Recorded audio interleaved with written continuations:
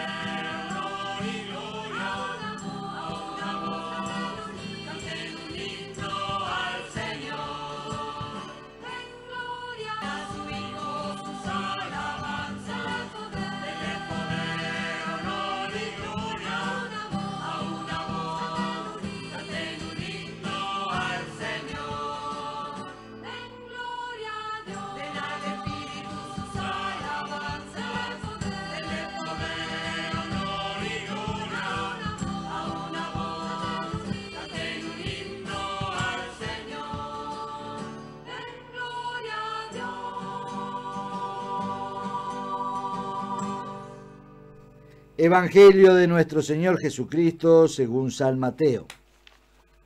Jesús dijo a sus discípulos, Cuando venga el Hijo del Hombre, sucederá como en tiempos de Noé, en los días de que precedieron al diluvio.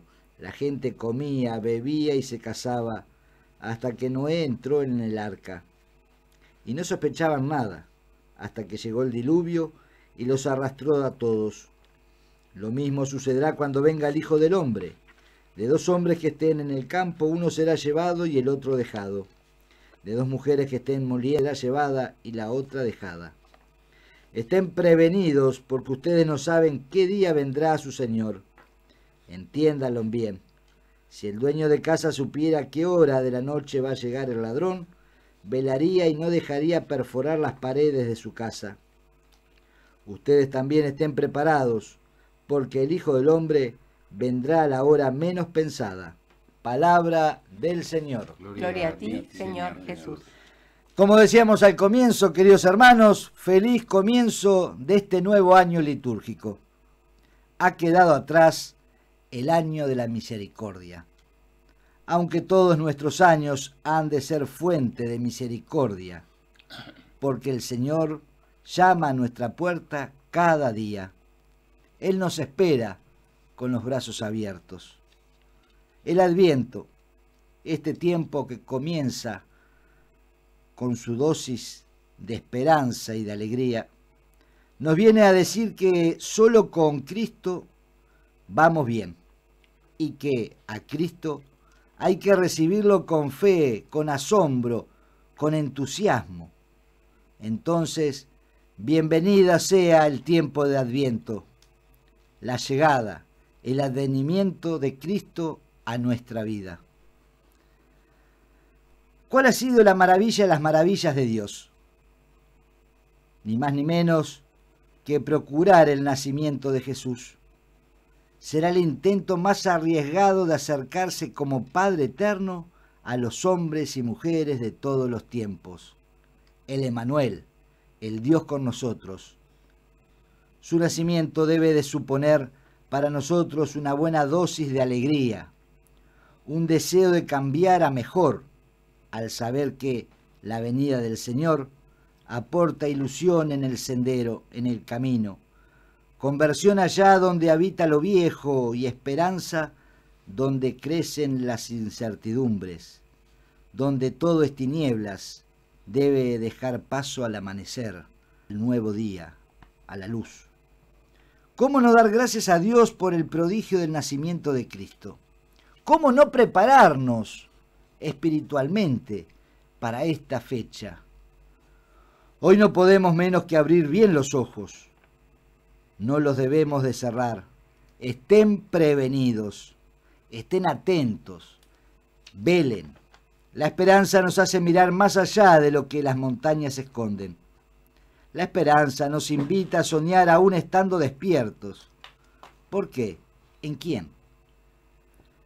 Veamos, hermanos, tenemos que aprender a esperar con la ayuda de Dios todo puede mejorar, lo material y lo espiritual.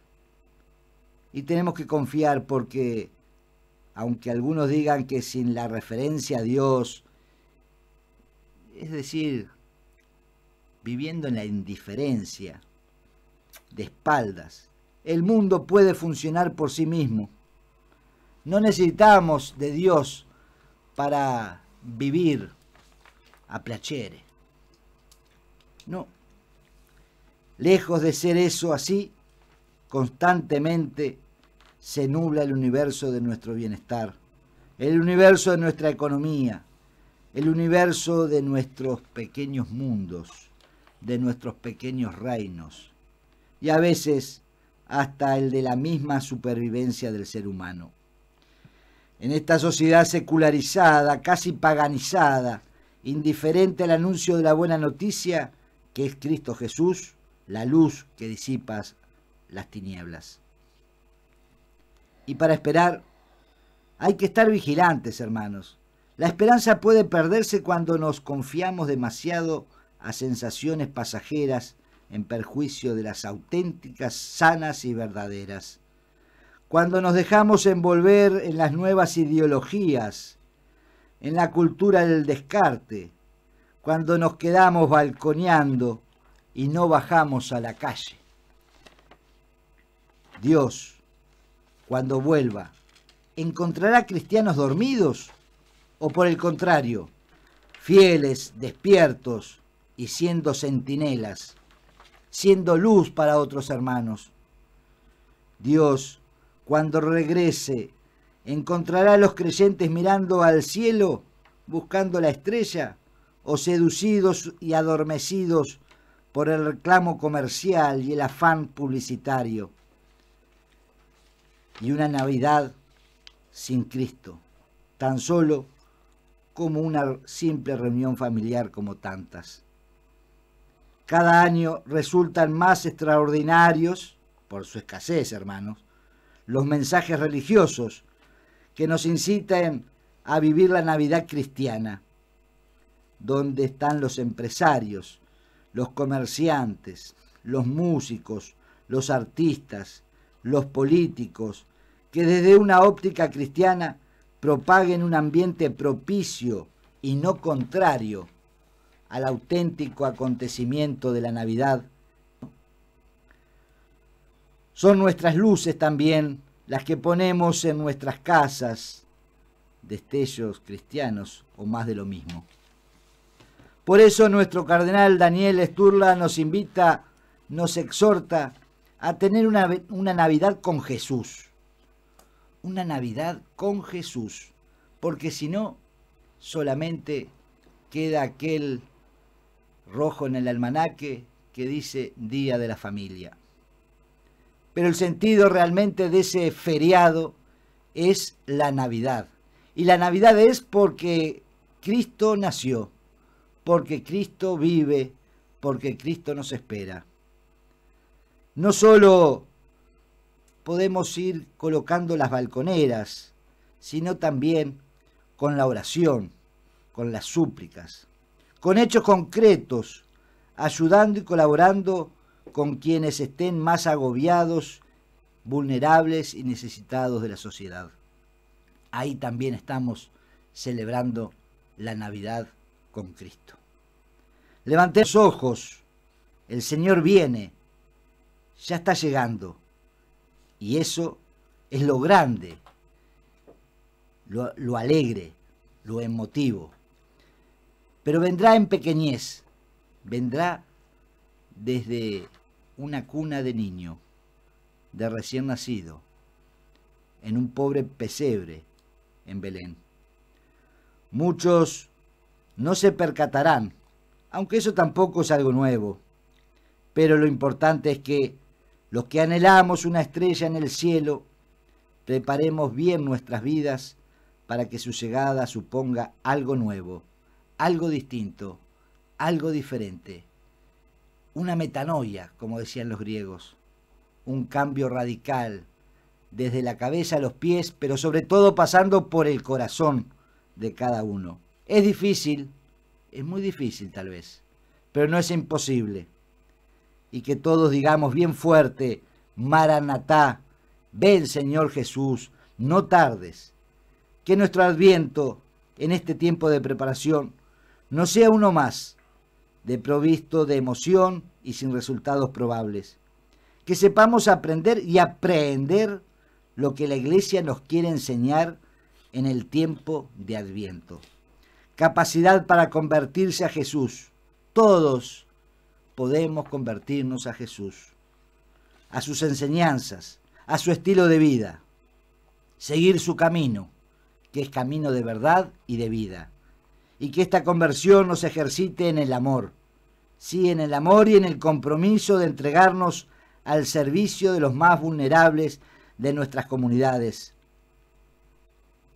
y de la sociedad, hasta llegar, como dice Francisco, a las periferias existenciales, para encender en ellos una luz de esperanza, una luz de esperanza cristiana. Y como Isaías, que invitaba al pueblo judío diciendo, ven, casa de Jacob, y caminemos a la luz del Señor. Ahora nos dice a cada uno de nosotros, a cada una de nuestras comunidades, a cada una de nuestras familias, familia, comunidad cristiana, pueblo uruguayo, vengan, caminemos a la luz del Señor. Que así sea, para mayor gloria de Dios. Amén. Que así sea.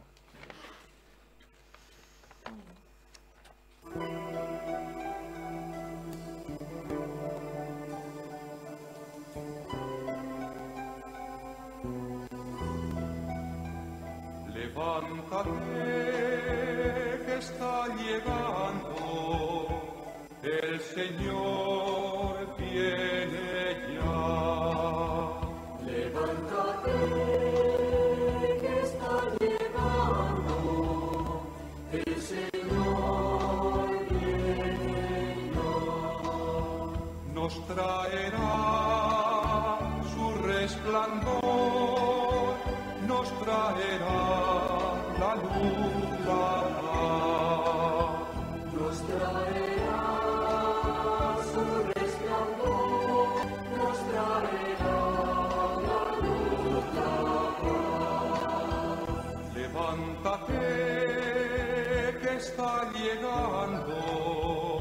el Señor viene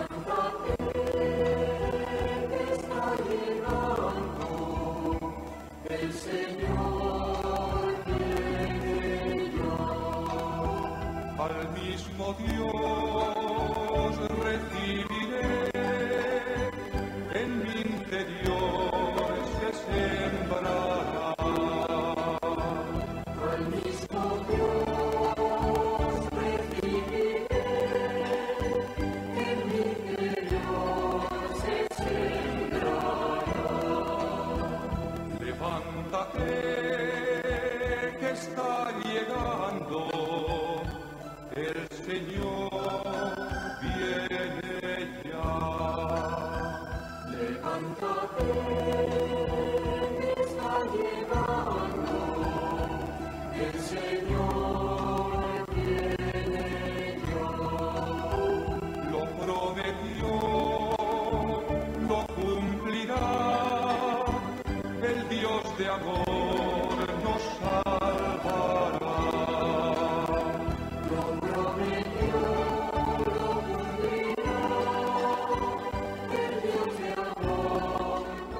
José Aldao, Sociedad Anónima, para Ornimans. Desde siempre, el nombre del té.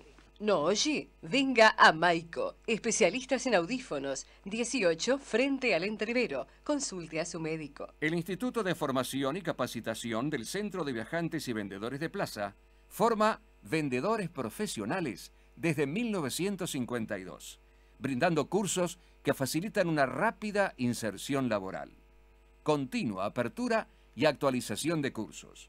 Consulte por el teléfono 2924-3827 de lunes a viernes de 13 a 18 horas. Centro de Viajantes y Vendedores de Plaza.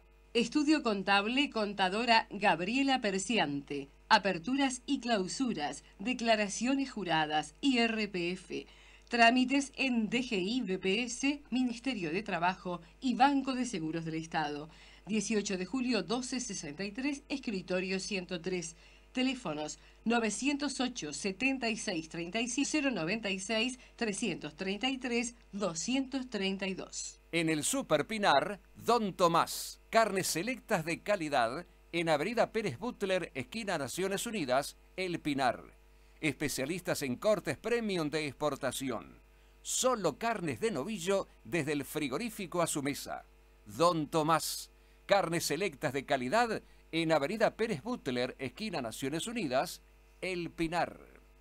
En el Departamento de Baja Visión de Óptica La Mesón atendemos pacientes derivados por su oftalmólogo tratante. Aportamos nuestra experiencia, profesionalidad y compromiso para optimizar su visión residual. Óptica La Mesón, desde 1928 a su servicio. Cordón, 18 de julio, esquina Tacuarembó. Parque Valle, Avenida Italia, esquina Morales. Atención, nueva cuenta Habitat, número 54465, con los brazos abiertos, para ayudarnos a continuar como hace 25 años, llevando una palabra de fe, esperanza y solidaridad. Cuenta Habitat 54465, con los brazos abiertos. Gracias por tu colaboración.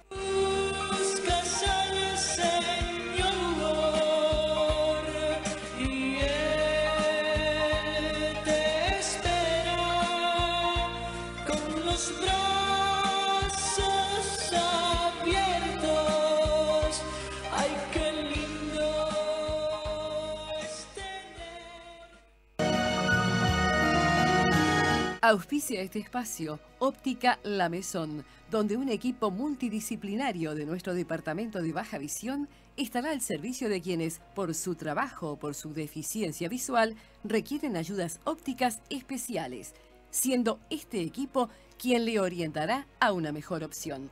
Óptica La Maison en sus dos casas, Cordón, 18 de julio, esquina Tacuarembó, Parque Valle, Avenida Itales.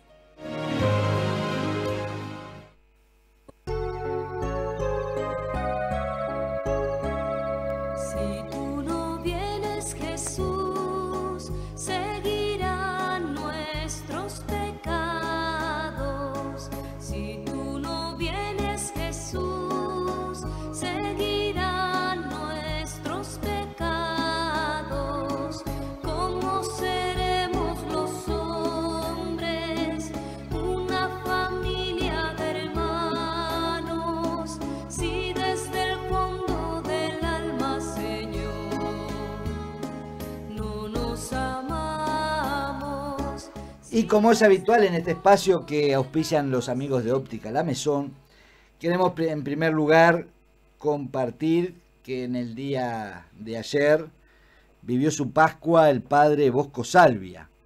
Sus restos están siendo velados en la parroquia de Malvin, a la que él estuvo muchos años vinculado.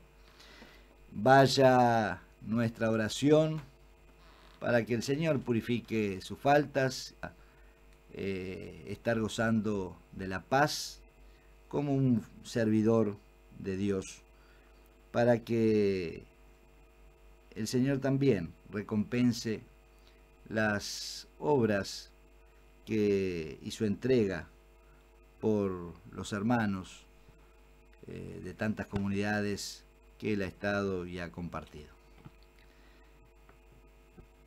Y mm, a las 10 de la mañana se celebra la misa cuerpo presente en la parroquia de Malvina, ahí en Michigan y Rivera.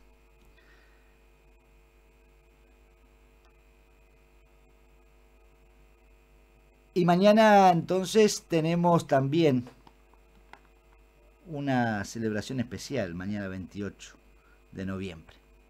Mañana está cumpliendo un año más de vida el doctor Miguel Ángel Nahuar. Así que vaya para Miguel. Eso, no decimos cuánto, sí. Ya pasamos la barrera del sonido. No. No pasamos la barrera del sonido ya. Los- eh, bueno, un año más, no importa.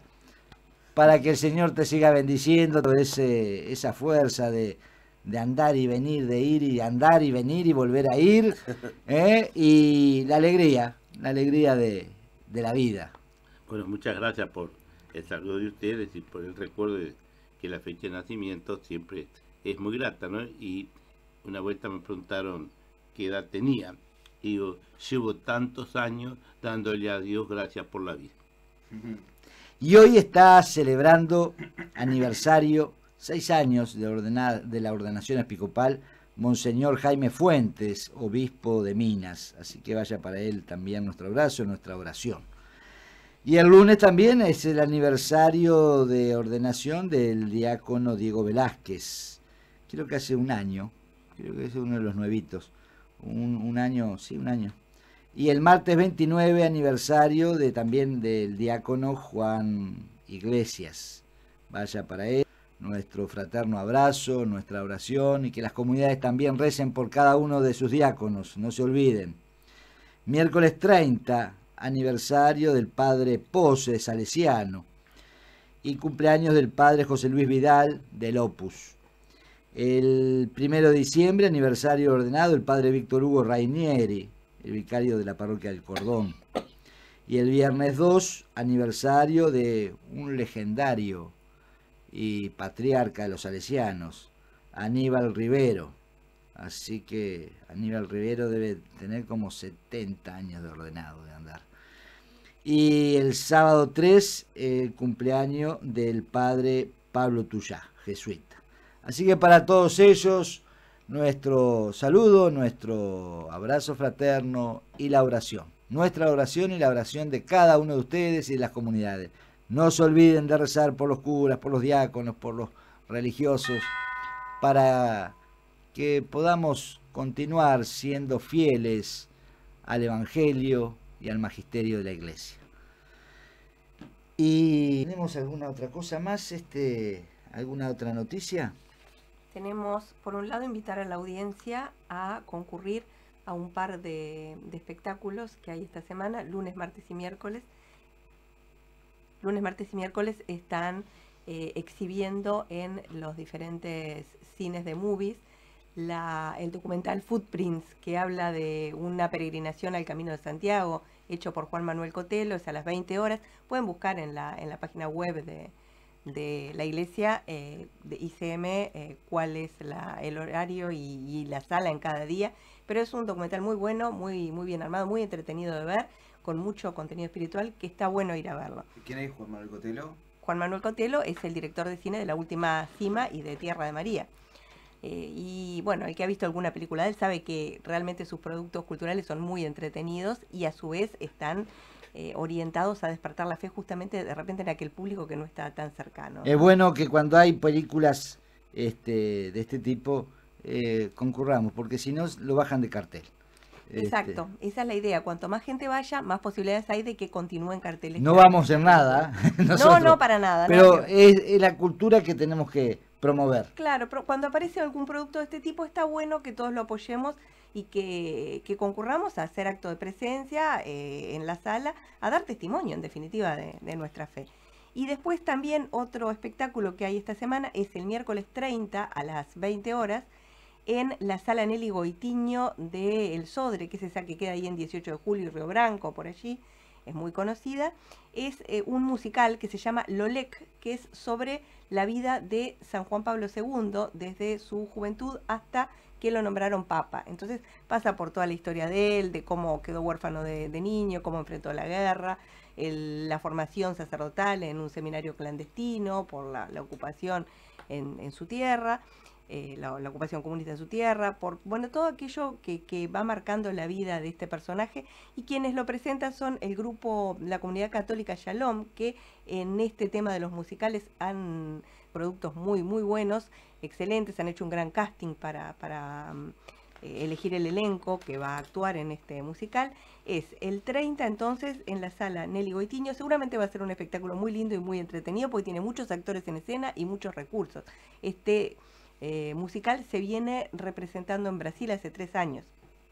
Así que está muy, muy armado ya. Y para averiguar por entradas pueden llamar al 2409-4564. Lo repito, 2409-4564.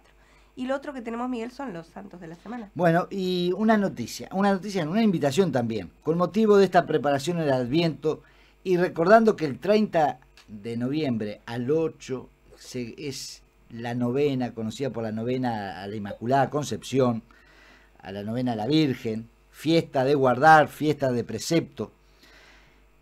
Eh, a las 7 y 30 de la mañana se nos invita a todos a participar en el Rosario de la Aurora. ¿Qué es esto? En cuatro puntos de Montevideo eh, se van a reunir comunidades, gente, eh, a rezar el Rosario.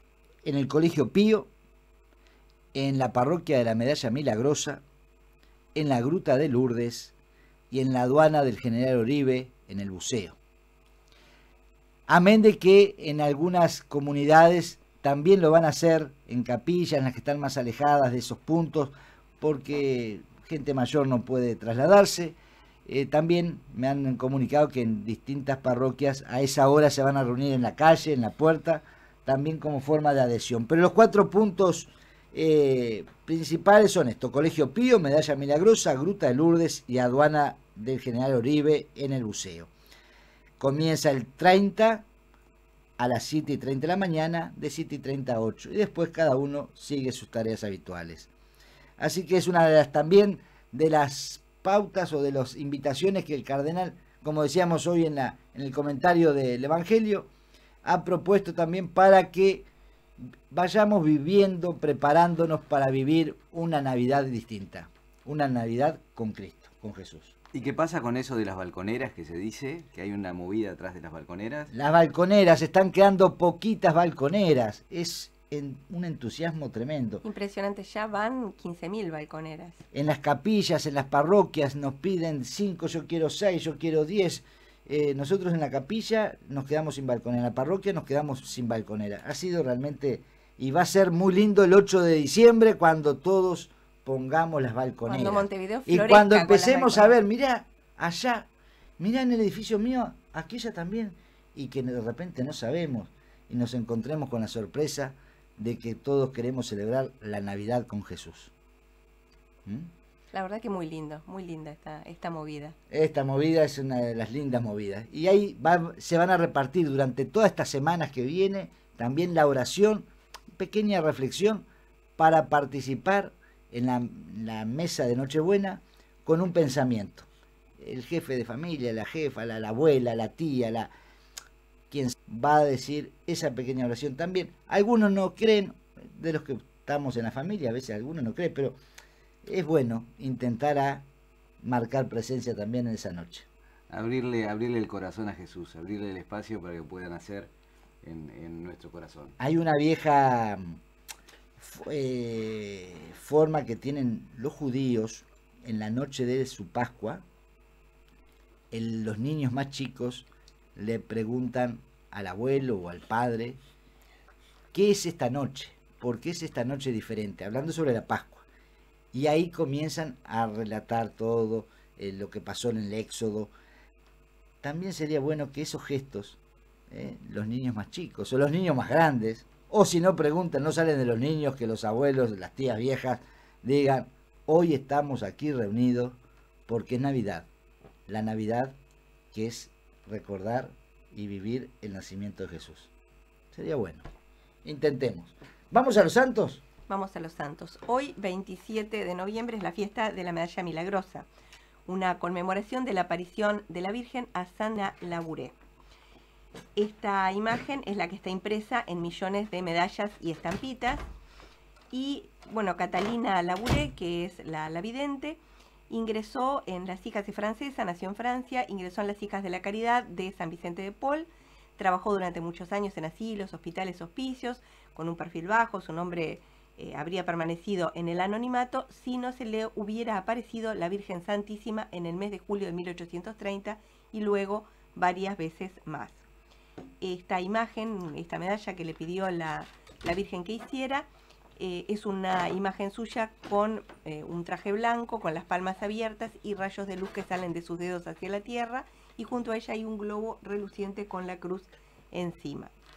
Catalina, luego de estas apariciones, pasó su vida desempeñando trabajos escondidos y sin brillo, propios de cualquier religiosa, y nadie supo hasta su muerte de las apariciones que ella quiso guardar en reserva.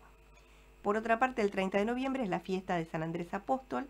Andrés era hermano de Simón Pedro y como él pescador en Cafarnaún, de los doce, el primero en ser llamado de las faenas de la pesca en el lago Tiberíades para ser honrado con el título de pescador de hombres fue justamente Andrés junto con Juan y por ser el primer discípulo de Jesús, los griegos le llaman protóclito. Andrés fue también el primero que reclutó nuevos discípulos para el maestro, encontró, dice las escrituras, encontró primero a su hermano Simón y le dijo, hemos encontrado al Mesías y lo llevó a Jesús. Patrono de Rusia y Escocia, murió mártir en una cruz en forma de X que se conoce desde entonces como la Cruz de San Andrés.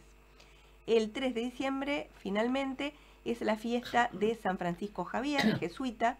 Nació en 1506 en una familia noble, quedó huérfano muy chico y luego quiso cumplir el sueño de sus padres de graduarse en la Sorbona, donde le tocó ser compañero de un estudiante ya bastante mayorcito llamado Ignacio de Loyola. Participó entonces de la formación de esta aventura que fue la Compañía de Jesús, que sigue siendo la Compañía de Jesús. A los 35 años comenzó su gran aventura misionera en la India, Malasia, las Molucas y otras islas.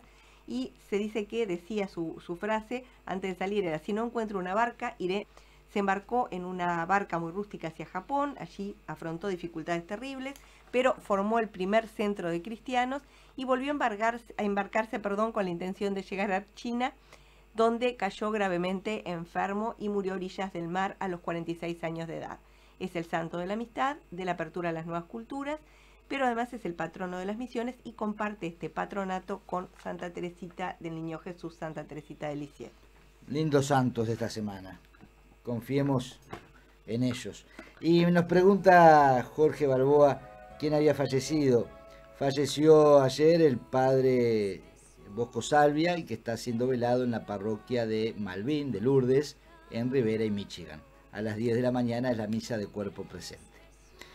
Vamos a la tanda y volvemos con Miguel. ¿Qué vamos a hablar hoy, Miguel? Bueno, siempre es una sorpresa, pero...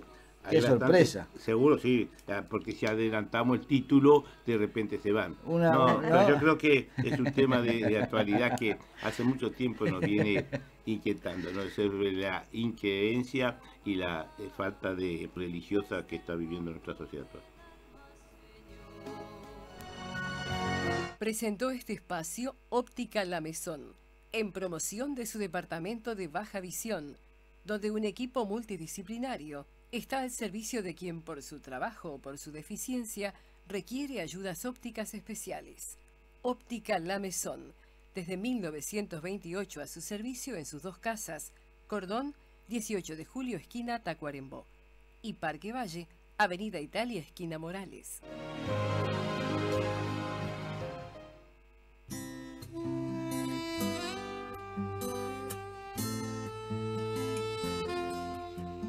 Las ciudades es frecuente el abandono de ancianos y enfermos.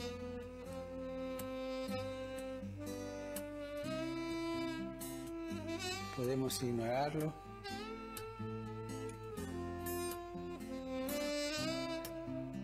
Nuestras ciudades deberían caracterizarse sobre todo por la solidaridad, que no consiste únicamente en dar al necesitado, sino en ser responsables los unos de los otros y generar una cultura del encuentro. ¿Me acompañas en mi petición para que los ancianos, marginados y las personas solitarias encuentren incluso en las grandes ciudades oportunidades de encuentro y solidaridad?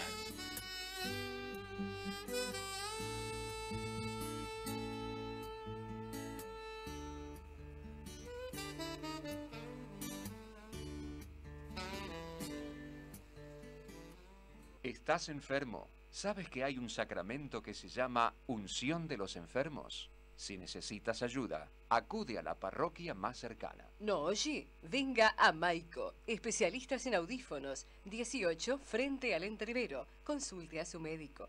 En el Super Pinar, Don Tomás, carnes selectas de calidad, en Avenida Pérez Butler, Naciones Unidas, El Pinar. Nos especializamos en carnes de cerdo y pollo frescas y de primera calidad. La excelencia no es una opción, es lo que nos distingue. Don Tomás, carnes selectas de calidad en Avenida Pérez Butler, esquina Naciones Unidas, El Pinar.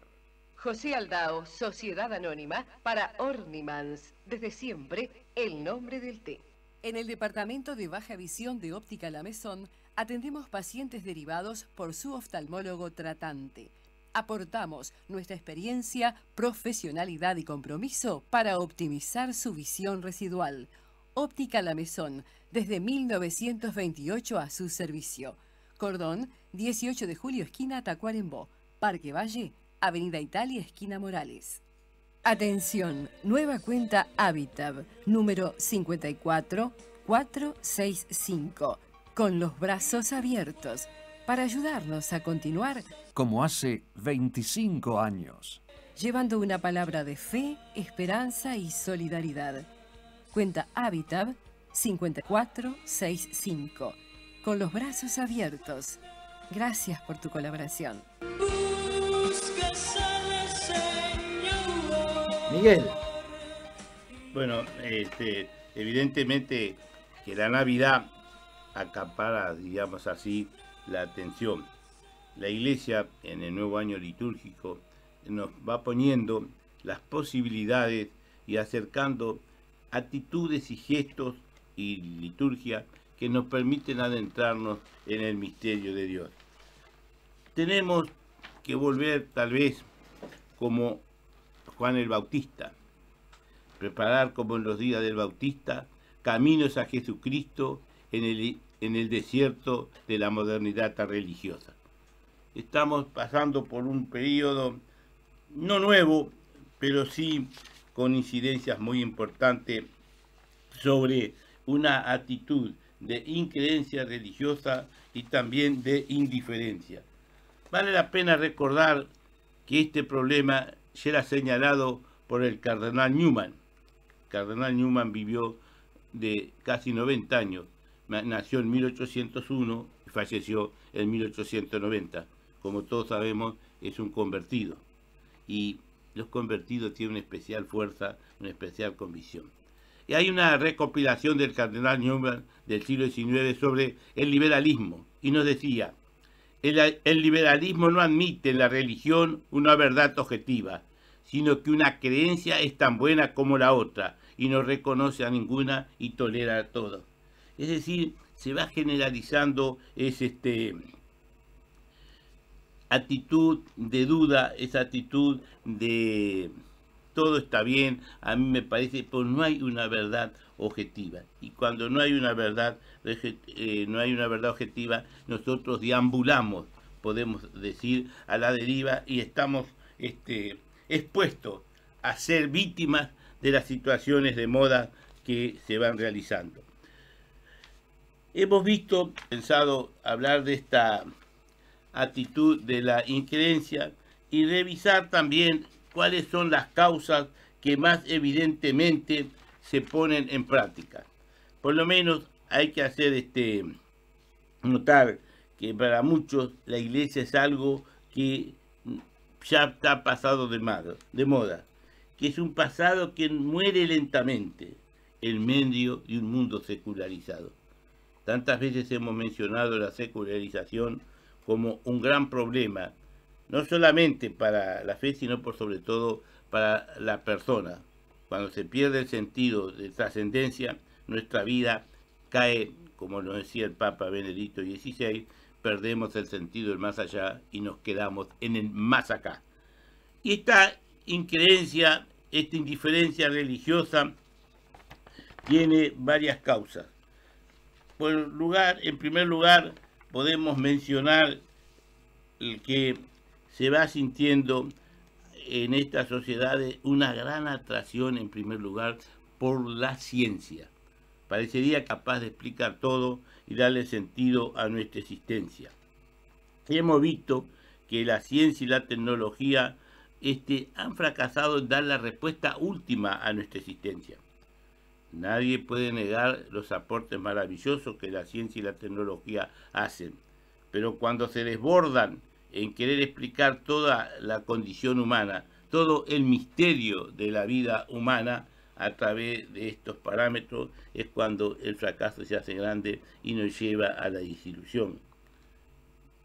Teorías económicas que aparecen este, como redentoras de toda la, la sociedad. Actitudes digamos, filosóficas, pragmáticas, positivistas, todo ello este, van alejando al hombre de su realidad concreta y lo van alejando de Cristo. Entonces la Navidad, amables oyentes, es ante todo una actitud de conversión. Todos precisamos convertirnos día a día y sin exagerar, podemos decir necesitamos convertirnos instante a instante. Jesús va a nacer el 25 de noviembre. La realidad histórica así lo afirma, pero Jesús no puede pasar como en su nacimiento, como un acontecimiento que se reduce tal vez a una buena comida, como decía Miguel en su comentario de la Nochebuena, o que se reduce a una cantidad de regalitos, a una cantidad de actitudes exteriores tenemos que tomar conciencia que el nacimiento de Jesús cambia la historia de la humanidad y tiene que también que cambiar nuestra historia personal. Entonces, el tiempo litúrgico del Adviento es una preciosísima oportunidad que se nos pone para reflexionar y reafirmar en nosotros esa convicción. Abrir nuestro corazón a Cristo. Es decir, Cristo nace en un humilde pesebre todos sabemos lo que es un pesebre, oscuridad y mal olor, y mal olor, mal olor. Por nosotros que nuestro corazón sea un pesebre iluminado y con buenos este, olores, es decir, paz, reconciliación, perdón, ni que decir que estamos acabamos de finalizar la celebración del año de la misericordia, que por supuesto esto no terminó con el 20 de noviembre, sino que permanentemente tenemos que estar este, viviendo la misericordia. Entonces la iglesia se presenta hoy frente a una actitud que hay una increencia práctica. Y esto vale mucho, es muy común escuchar en personas que se dicen con razón, yo soy católico, pero no soy un católico práctico. Me parece que es un error de concepto y es un error que nos hace mucho daño. La iglesia tiene prácticas religiosas que nos obligan, en el mejor sentido de la palabra obligar, a cumplir con ellas, porque de esa manera es que nosotros podemos vivir nuestra fe, no quedar en una fe que muchísimas veces la podemos elaborar intelectualmente, pero que no la podemos la práctica. Y tantas veces lo decimos y tantas veces lo vamos a repetir. Cada uno de nuestros oyentes, cada uno de que tiene amigos, vecinos y familiares que han dejado o se han vuelto indiferentes a la práctica religiosa, se han dejado de cumplir con el precepto de la misa dominical, pensando que eso es totalmente eh, pe- pensable, es totalmente vale o no me vale para mí. Es decir, se ha ido formando como una actitud de una religión subjetiva, una religión de lo que a mí me parece. Y por sobre todo eso cae en un problema muy generalizado que tal vez no tomemos en cuenta lo que significa, en una autorreferencia. No tenemos a quien remitirnos, no tenemos a quien responder. Y en esa actitud de indiferencia religiosa aparece como corolario lógico e inevitable la idolatría. Aparecen esos ídolos que no tienen rostro, que no tienen rostro y por lo tanto no tienen voz, a los que nosotros le hablamos y le decimos lo que a nosotros nos parece, y que no nos van a responder o van a responder según nuestras actitudes, según nuestros pareceres, según nuestra creencia. Todo esto tiene la importancia de ir llevándonos a que este tiempo de Adviento no pase inadvertido, que no sea un acontecimiento simplemente, evidentemente muy lindo, pero que cuando terminó la Navidad al otro día no haya quedado nada para, para recordar.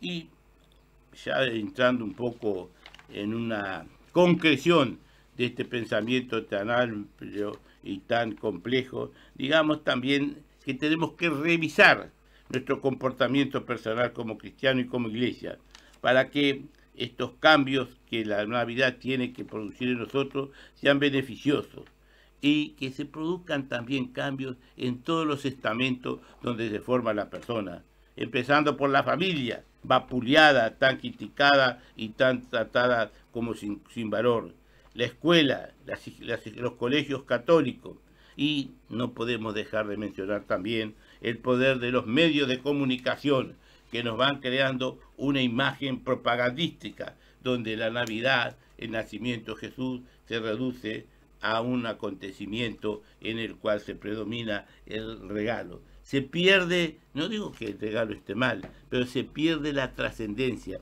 queda simplemente a un aspecto exterior que muchísimas veces y a primera vez vista nos subyuga, pero que sin dejar ningún sedimento espiritual pasa como pasa la luz del relámpago. Tal vez nos entusiasma, nos enseguece y se apaga. En el inicio entonces del Adviento, nosotros quisiéramos desde ya poner una cuota de interés, de pensamiento, de reflexión a todos, los creyentes y aquellos que se dicen creyentes un tanto, yo diría, apagados, un tanto este, sin mayor, de devolvernos esa fe, encontrar los caminos que Cristo en su nacimiento nos muestra y que esa luz de Belén que guió a los pastores, que aparece en esta oscuridad del mundo actual, ilumine nuestro camino, ilumine nuestra manera de actuar.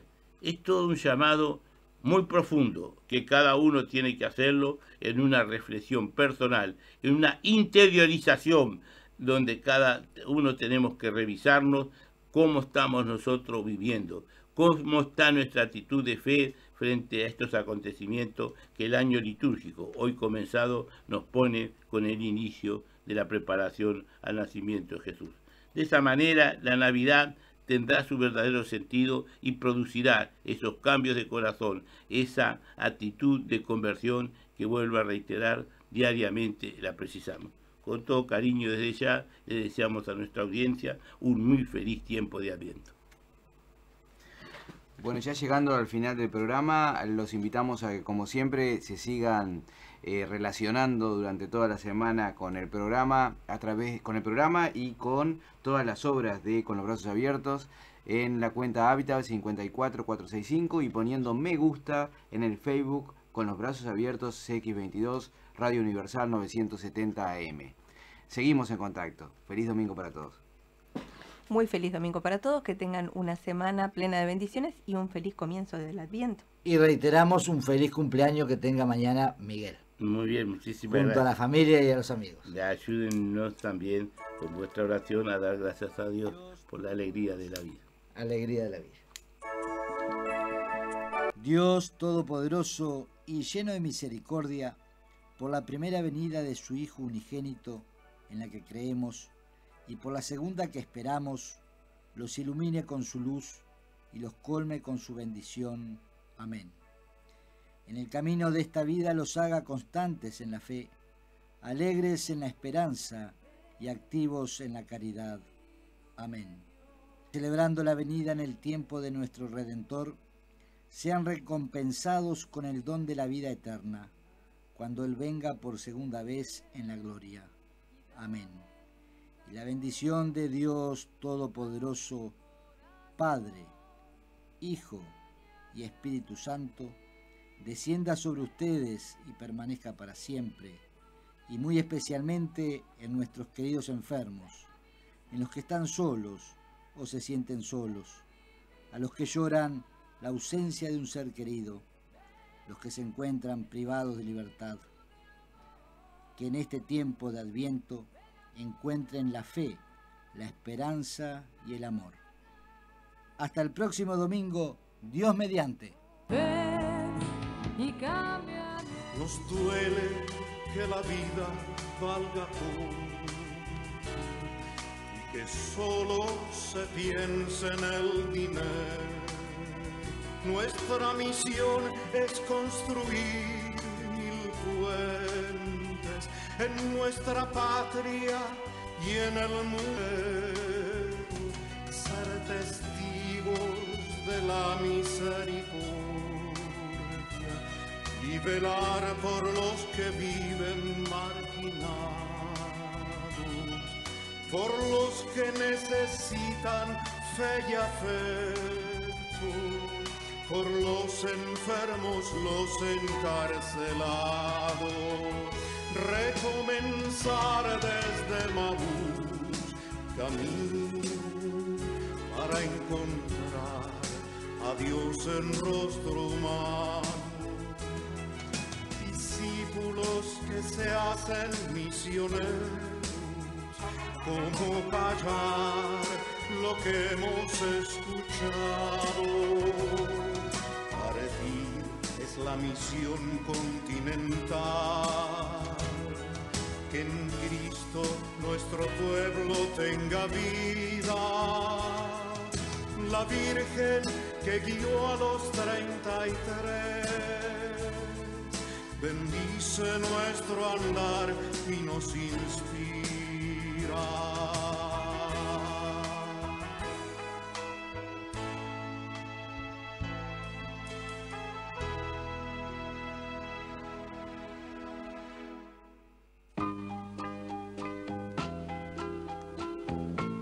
Cuando nace un nuevo día, hay que dar gracias a la vida. Hay luego que seguir viviendo con esperanza, con solidaridad. Con los brazos abiertos.